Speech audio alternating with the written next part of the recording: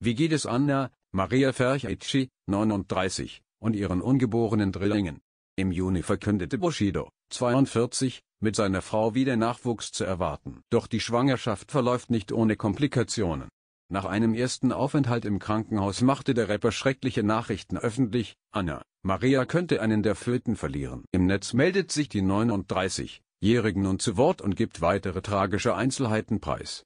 Auf Instagram äußerte sich Anna, Maria im Rahmen des Prozesses gegen Bushidos Ex-Manager Arafat Abu Chaka und offenbart dabei, ein Herz meines Kindes wird voraussichtlich in den nächsten zwei bis drei Wochen aufhören zu schlagen. Ein Blasensprung in der 17. Schwangerschaftswoche, drei Tage nach meiner letzten Aussage vor Gericht.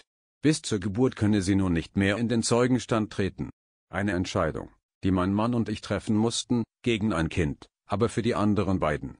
Dies sind die Dinge, mit denen ich mich seit vier Wochen beschäftige. Gibt sie weitere Einblicke? Tipps für Promiflash? Einfach e-mail n tipps at promiflash.de